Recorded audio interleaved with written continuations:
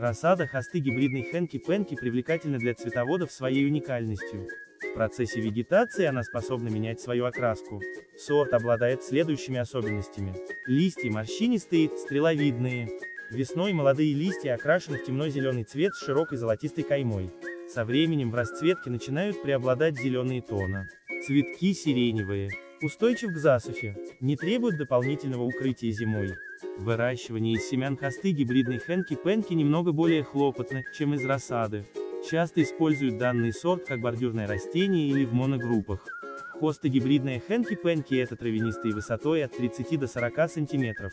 Цветет растение в месяц июль-август. Летом листва темно-зеленый центр с кремово-золотой широкой ровной каймой. Вы можете купить это растение в нашем интернет-магазине в сосорта.ру. У нас огромный ассортимент семян, луковиц, рассады, саженцев и крупномеров.